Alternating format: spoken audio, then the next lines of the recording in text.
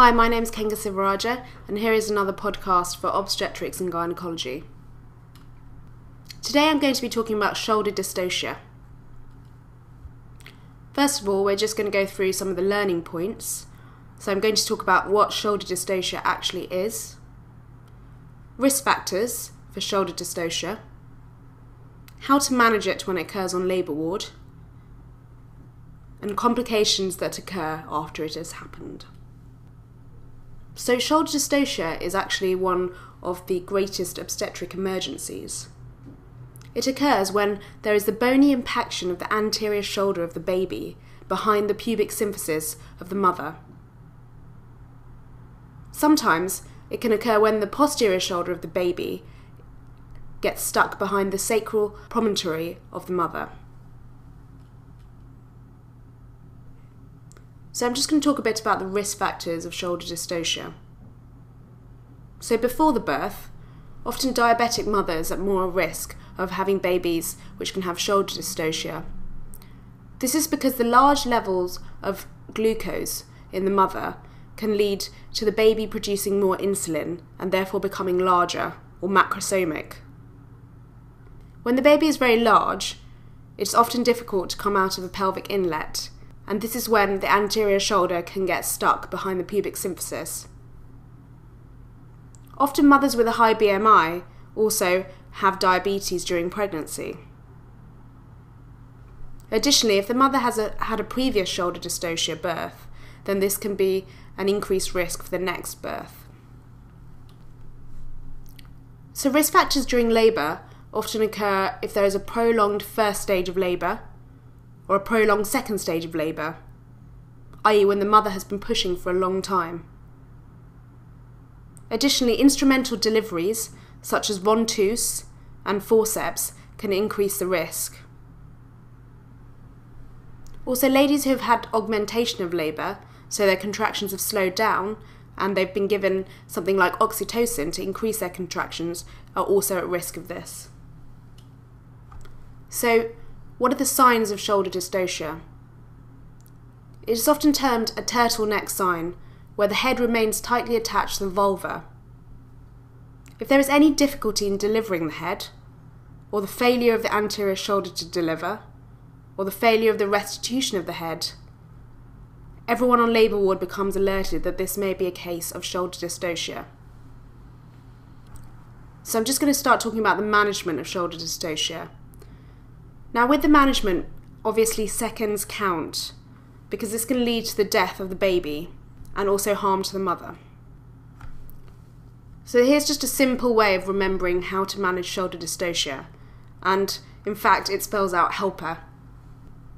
So, first of all, call for help.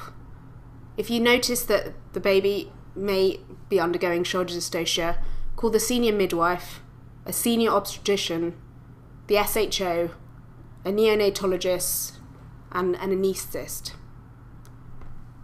Further pushing from the mother should be stopped, as this can aggravate the situation further. At this point, you want to evaluate for an episiotomy, okay, because this may give you room later to do the internal maneuvers, which I'm going to talk about. So, first of all, legs. This is called McRoberts position, the lady is laid flat and the thighs are hyperflexed to the abdomen. If this doesn't deliver the baby, then both the midwife and the obstetrician should put suprapubic pressure on the pelvis. First, just the hands firmly down, and then in a rocking fashion. The majority of shoulder dystocias are then delivered at this point. E is for enter. Now we must enter the vagina, and this is where the episiotomy comes in useful because it just gives you more room to maneuver. Now, these have lots of names which you don't have to remember as an undergraduate, but they are always useful. So, Woodscrews maneuver is when the hand enters the vagina and the middle fingers are placed on the posterior aspect of the anterior shoulder. You then try and move the baby forward. If this fails, you can then put the other hand on the anterior aspect of the posterior shoulder and then attempt a rotation. These are tricky maneuvers which should only be carried out by an experienced obstetrician. If this fails, you can do a reverse wood screws maneuver.